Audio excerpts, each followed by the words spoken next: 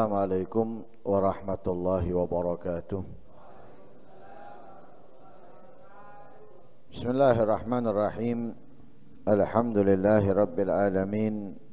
وبه نستعين على أمور الدنيا والدين. والصلاة والسلام على سيد الأنبياء والمرسلين. سيدنا ومولانا محمد صلى الله عليه وعلى آله وصحبه وسلم أجمعين. سبحان الله الحمد لله ولا إله إلا الله الله أكبر ولا حول ولا قوة إلا بالله العلي العظيم عدد كل حرف كتب ويكتب أبد الآبدين ودهر الداهرين سبحانك لا علم لنا إلا ما علمتنا إنك أنت العليم الحكيم نويت التعلم والتعليم والنفع والانتفاع والمذاكرة والتذكير والإفادة والاستفادة والحث على التمسك بكتاب الله وسنة رسوله والدعاء إلى الهدى والدلالة على الخير ابتغاء وجه الله ومرضاته وقربه وثوابه من الله تعالى. قال المصنف رحمه الله ونفعنا به وعلمكم في الدارين. آمين. في كتابه لسبيل الإدكار والإعتبار بما يأمر بالإنسان وينقضي له من الأعمار إلى قوله وقال ابن عمر رضي الله عنهم عنهما قال رسول الله صلى الله عليه وسلم يدني الله العبد المؤمن حتى يضع عليه كنفه فيقرره بذنوبه حتى إذا خاف أنه قد هلك قال له سبحانه قد سترتها عليك بالدنيا وأنا أغفرها لك اليوم ثم إن يوم القيامة وإن كان كما وصف من طول والشدة فقد يهونه الله ويخفف على المؤمن التقي حتى يكون كمقدار الصلاة المكتوبة يصليها. وفي رواية كمقدار ما بين الظهر والعصر كذلك ورد في الحديث. dikatakan oleh Ibnu Umar Abdullah bin Umar radhiyallahu anhuma Gala Rasulullah sallallahu alaihi wasallam Ibnu Umar meriwayatkan hadis yang mana Nabi sallallahu alaihi wasallam bersabda Yudnillahul abdal mu'minah Allah mendekatkan hambanya yang beriman.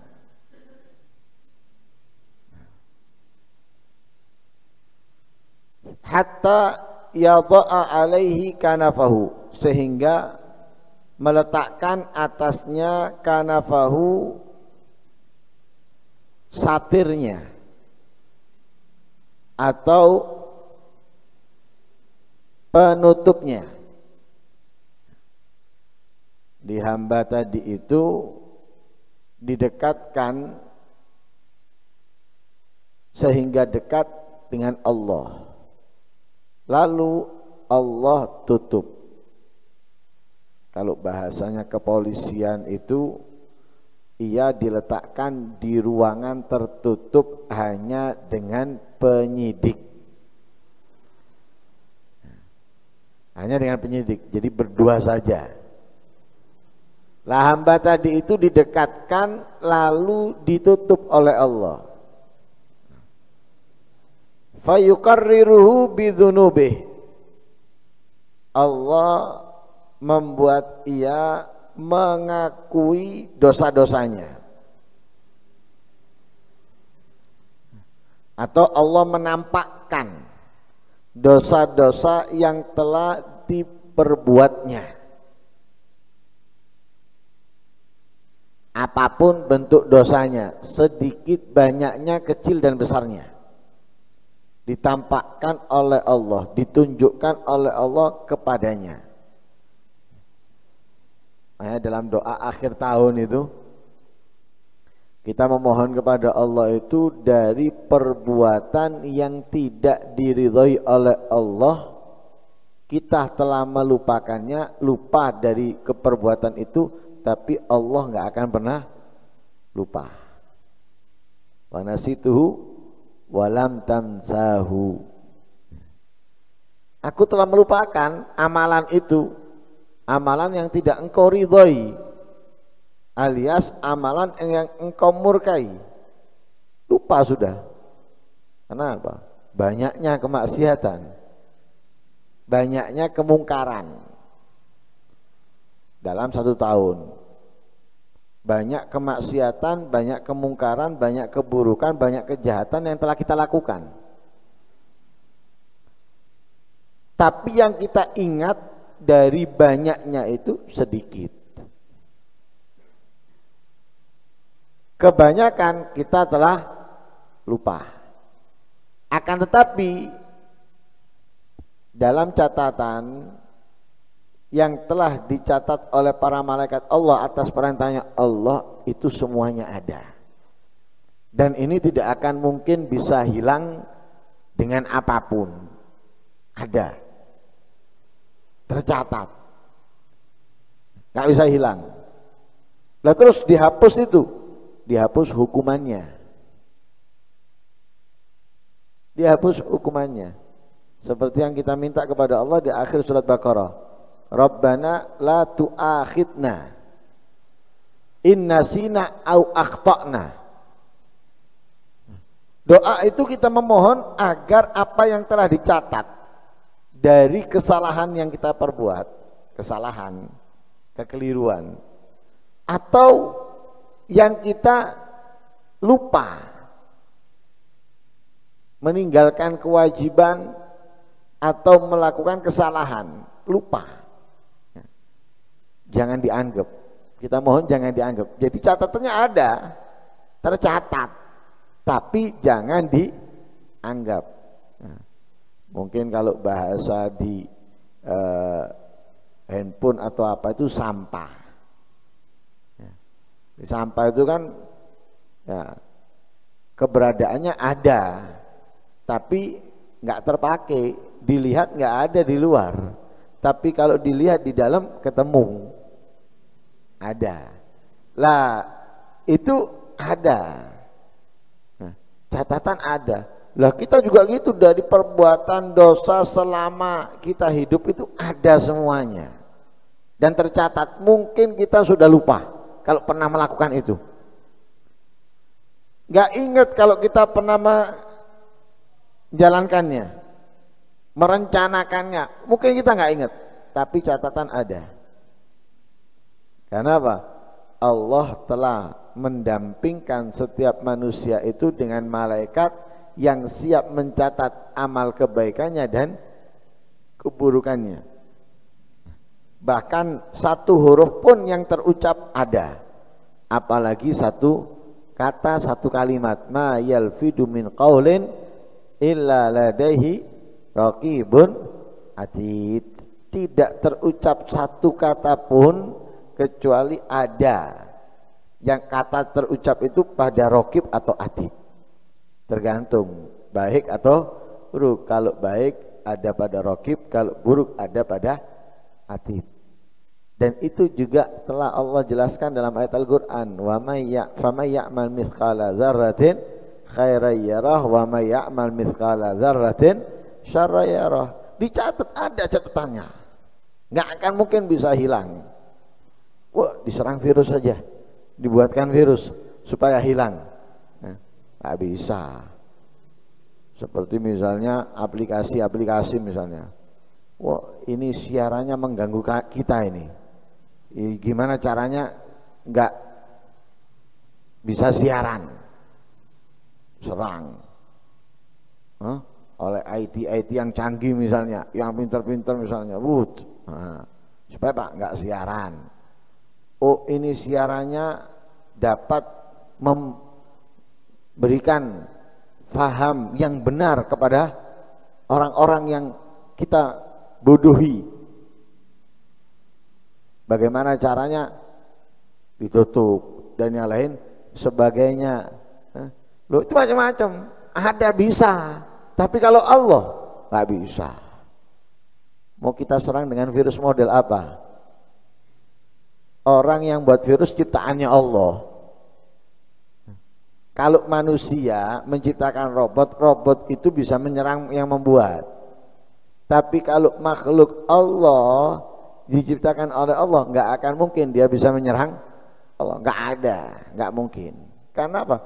Semuanya dia berjalan karena Allah dengan Allah. Tanpa Allah, nggak mungkin dia bisa melakukan apa pun.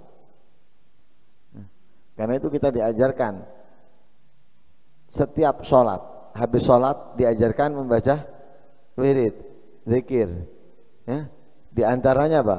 La mani alimah a'tait wa la mu'ti alimah mana'ta wa la radda limah qadait wa la yanfa'u dzal jaddi minkal jadd. Tidak ada yang bisa menghalangi jika engkau ingin memberikan. Dan tidak ada yang bisa memberi jika kamu tidak menginginkannya. Dan tidak ada yang mampu menolak apa yang telah engkau tentukan. Kekuasaan sebesar apa pun sehebat apa pun tidak akan bermanfaat sedikit pun dengan kekuatanmu dengan kekuasaanmu. Nggak ada sudah lah ini hamba dibuat oleh Allah mengaku atau ditampakkan kepadanya apa yang telah ia perbuat selama hidup dari dosa-dosa. Lah ketika dia melihat apa yang telah ia jalani selama hidup ini, waduh. Dilihat sama dia ini, ini kalau ditimbang kebaikanku nggak akan unggul sama sekali kebaikanku tidak akan berat. Ringan enteng. Justru keburukan dan kemaksiatan yang akan dominan yang akan memenangkan timbangan. Kenapa? dia melihat perbandingan. Loh ini keburukan kamu. Banyak keburukannya. Hari ini, bulan ini, tanggal ini, tahun ini but but but but but but. Wakil dilihat kebaikannya. Sedikit hanya ini hanya itu. Kadang dilakukan kadang tidak. Kalau maksiatnya aktif masya Allah. Ibarat rutinan itu nggak pernah absen. Nggak pernah absen kalau maksiat. Tapi kalau ketaatan bolong-bolong. Kadang ikut kadang nggak ikut. Kadang kelihatan kadang nggak kelihatan. Kadang nggak kelihatan belas ini. Satu bulan dua bulan. Nggak kelihatan sama sekali. Tapi kalau marung atau jalan-jalan nggak pernah absen. Aktif. Seuploadnya aktif. Hah? seuploadnya aktif. Ini belum ada orang seperti itu. Kan itu kemaksiatannya aktif misalnya. Nggak pernah absen. Nggak pernah udur. Kecapian udur. Nggak pernah agak greges udur absen dulu. Nggak pernah. Komplit. Tapi kalau taklim kebaikan rotok greges titik dayan awak titik kesel absen dulu. Ada urusan masalah dunia nggak tahu hasil atau tidak absen dulu. Ada ini absen dulu. Lu ngake absen nih alfa tok ini ibarat A, rapot itu alfa alfa alfa alfa alfa apa alfa kan ya? A itu ya, ya. alfa alfa alfa wah dia bisa bandingkan. Ya, dia bisa menimbang dengan ditonton apa ditontonkan oleh Allah keburukan kemaksiatannya kejelekannya dia sudah bisa membandingkan. Usianya ternyata lebih banyak habis untuk kemaksiatan untuk kemungkaran, untuk kejahatan, untuk kezaliman. Karena dia sudah melihat seperti itu.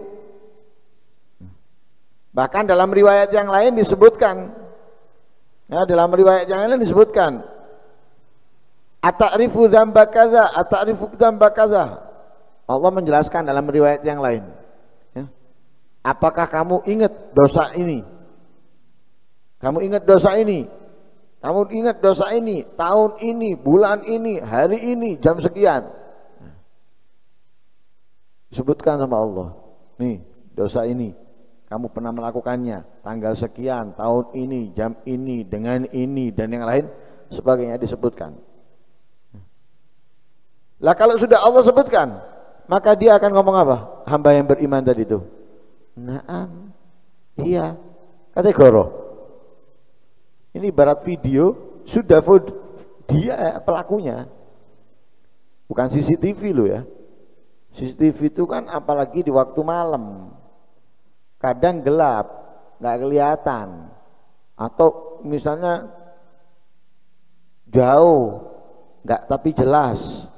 Iya, ini terjadi ini dan itu, tapi karena jauh, nggak tapi jelas, kan bisa dibuat alasan macam-macam, sehingga bisa yang ini benar atau yang ini benar. Tapi kalau Allah nggak ada, nggak ada. Mau malam gelap gulita tidak ada cahaya apa pun kita melakukan Allah mengetahuinya. Allah melihatnya. Nggak ada yang tersembunyi dari Allah. Semuanya terlihat. Semuanya ketahuan. Nggak ada yang tersembunyi. Makanya di mana pun kita bermaksiat segelap apa pun tempat kita melakukannya tempat yang kita tempati untuk melakukan kemaksiatan akan melapor kepada Allah. Anggota badan yang kita lakukan kemaksiatan itu dengannya akan berbicara menyampaikan kepada Allah.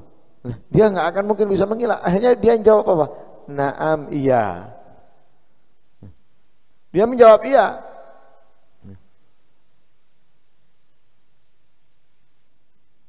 Ay Rabb haqqun idza garrara bi dzunubih annahu qad wara'a fi nafsi annahu qad halak. Nah, dalam riwayat ini hatta idza khafa annahu qad halak. Sehingga dia apa? Wes seakan-akan dia ini aduh apa sih hancur azab murka neraka sudah kayak kayak untuk surga ini berat nah, karena memang kan keputusan yang ada banyaknya kemaksiatan dalam kehidupannya membuat ia masuk neraka. Banyaknya ketaatan dalam kehidupannya membuat ia masuk surga.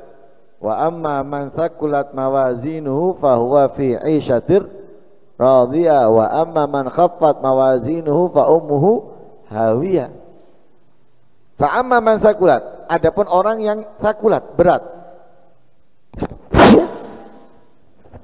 Nah, berat timbangan kebaikannya. Timbangan kebaikannya berat.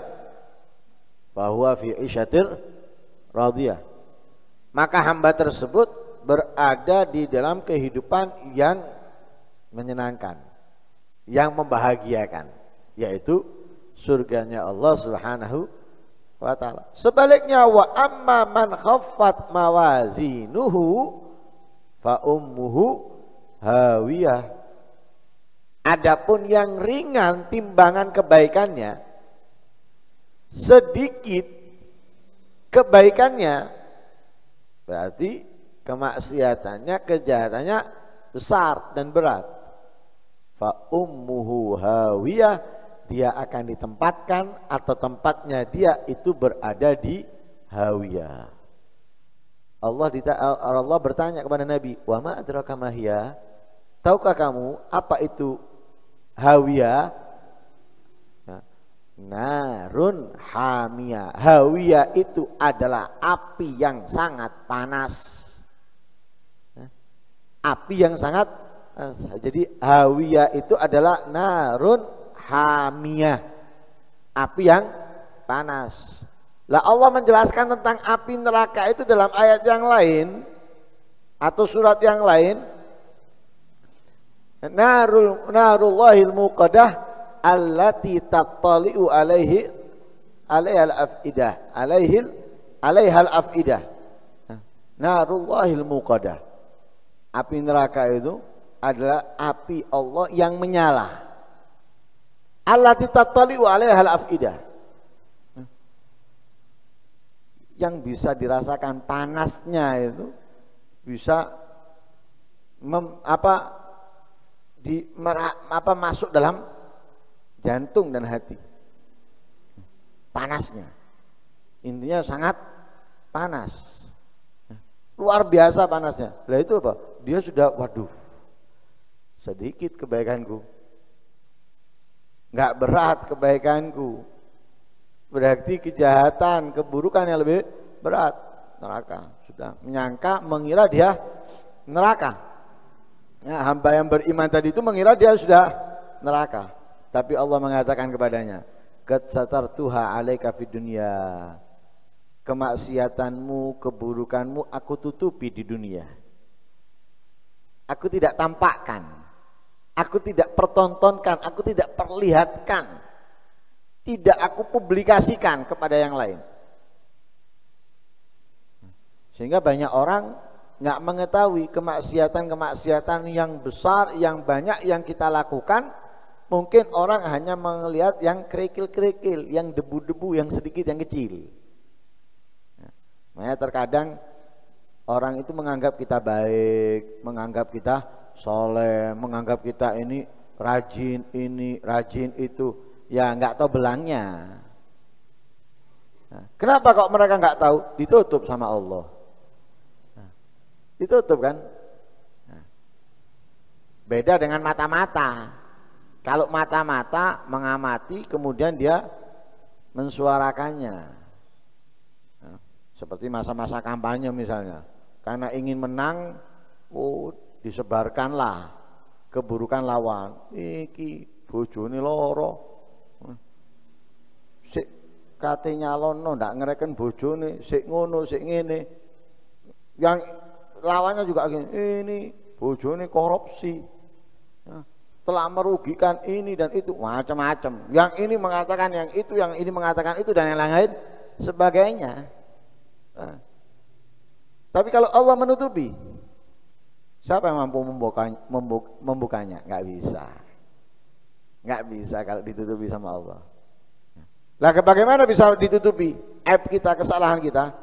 Pertama, tutuplah aib orang lain yang kamu ketahui. Alias jangan suka ngumbar Jangan suka menceritakan kesalahan orang lain kepada yang lainnya.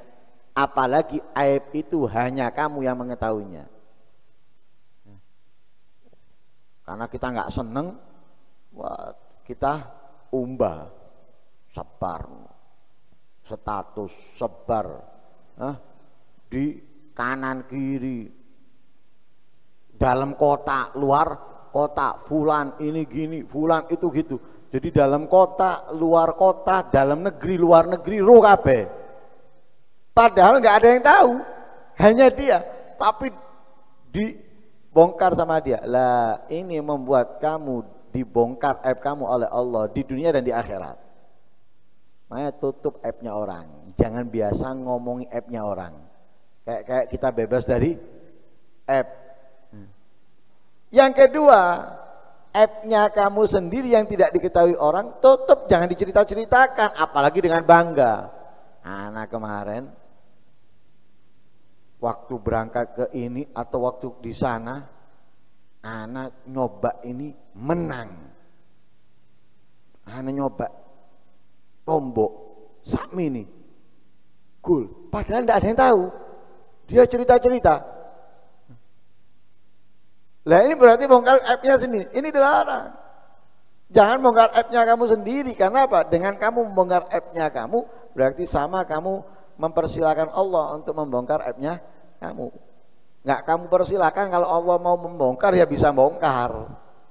Tapi Allah itu membiarkan. Lah seperti ini. Ketika kita tutup app kita sendiri atau kita tutup app-nya orang, lah Allah tunjukkan nih kesalahan-kesalahan kamu. Wah, dia sudah mengira akan hancur akan binasa. Tapi akhirnya katanya apa? Nah, ana gad satar tuha. Gad satar tuha alek di dunia. Di dunia aku tutup keburukan kamu. Artinya apa? Artinya masa di dunia aku tutup kemudian aku binasakan kamu sekarang? Enggak. Wa ana aghfiruha lakal. Saat ini aku ampuni dosa-dosa kamu. Saat ini aku ampuni. Kenapa? Di dunia aku tutupi kesalahan kamu, keburukan kamu, kemaksiatan kamu, kejahatan kamu. Sekarang aku ampuni dosa-dosamu. Tapi itu apa? Siapa itu? Hambanya yang beriman. Hambanya yang beriman. Yang nggak beriman, ya beda lagi. Nah, ini hambanya yang beriman yang di yudnillahul abdal atau uh, ab, abdal mukmin hambanya yang beriman. Tsumma inna yaumal qiyamah wa in kana kama usifa minatul wa syiddah faqad yuhawwinuhu Allah wa yukhaffifu 'alal mu'mini taqi. Sesungguhnya hari kiamat sekalipun seperti yang telah disifatkan lamanya, panjangnya, kesedihan, kesusahan, kesengsaraan pada hari kiamat di, akan diringankan. Ya, diringankan oleh Allah kepada orang-orang yang beriman bertakwa.